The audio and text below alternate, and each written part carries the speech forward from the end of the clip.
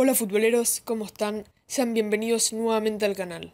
El día de hoy vengo a hablar del Zenit, el equipo ruso que está dando que hablar en Argentina por los fichajes de cracks de este país.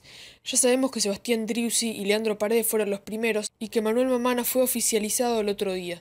El cuarto sería Rigoni, que ayer al finalizar el partido Independiente ante Deportes Iquique dio sus últimas palabras como jugador del rojo. No sé si triste, pero sí un sabor de dejar un grupo estupendo estupendo, he vivido un año y medio excelente en el club, lo he disfrutado mucho y bueno, hoy pude despedirme.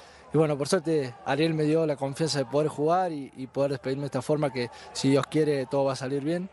Eh, ha sido muy lindo y, haber clasificado de esta manera es algo muy lindo para mí porque redondea toda una, una etapa muy hermosa y, y bueno, ahora a disfrutar. Pero los ojos de Mancini en jóvenes argentos no parecen tener fin. Aunque es cierto que lo de Pavón se cayó, hace un par de días llegó a la sede de estudiantes una oferta de Zenit por Santiago Escasíbar. Esta oferta rondaría los 10 millones de dólares, y se comenta que Verón lo aceptó y el jugador ya estaría haciendo las valijas para irse del pincha. De hecho, hoy Estudiantes recibió por la Copa Sudamericana Nacional de Potosí y el mediocampista se fue muy emocionado, dando a entender que es su final en el club.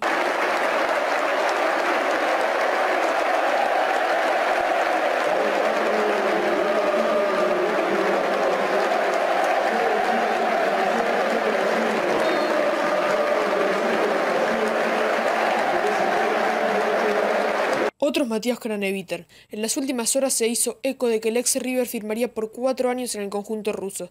El Cholo Simeone no le daría mucha consideración al tucumano, que podría reencontrarse con Driussi y Mamana. La pregunta es, ¿traerlo retrasaría o anularía lo de Ascasibar? Porque lo del jugador pincha parecería más avanzado, pero ahora que salió lo de Craneviter. Y el tercero, aunque sin mentir les diría que por ahora sumo, es otro pibe salido de Núñez, Germán Petzela.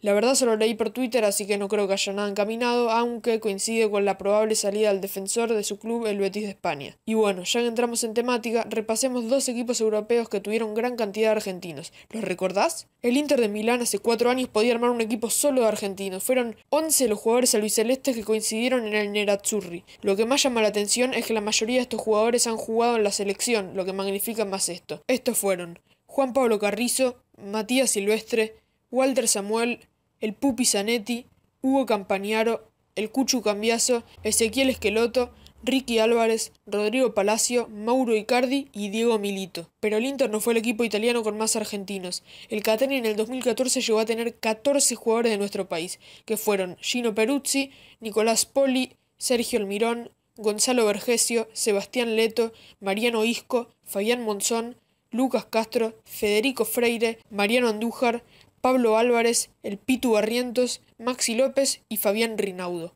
De hecho, ambos equipos tuvieron un enfrentamiento en el 2012 que tuvo 16 argentinos en cancha. El Inter ganó 2 a 0 con uno de Palacio. Yendo a la actualidad, el equipo europeo con más jugadores argentinos supongo que es el Sevilla, antes dirigido por Sampaoli y ahora por el Toto Berizzo, además de DT ficharon a jugadores. En este momento cuentan con 7, y eso que hay que tener en cuenta que hasta hace poco Craneviter y Vieto estaban cedidos del Atlético Madrid al equipo andaluz. Los jugadores argentos presentes en el conjunto sevillista son Nicolás Pareja, Gabriel Mercado, Walter Montoya, Ever Banega, Joaquín Correa, Guido Pizarro y el Mudo Vázquez. Y bueno, pasamos rápidamente a la ronda de saludos, que es para los que me respondieron el comentario en el video anterior que hice hablando. Eh, a partir del próximo, o sea, en este video, voy a dejar una pregunta para que sea más entretenido leerlo. y nada, pondré sus respuestas. Los saludos son para Agus Gómez, Axel SL, San Lorenzo supongo, Rodrigo Gabriel, Samir Martínez, Malincrio, El Santi 2.b, Ni Gamer Terror y más, Nahuel Farías, Tiago Valenzuela y los dos mejores nombres sin lugar a dudas, Dixon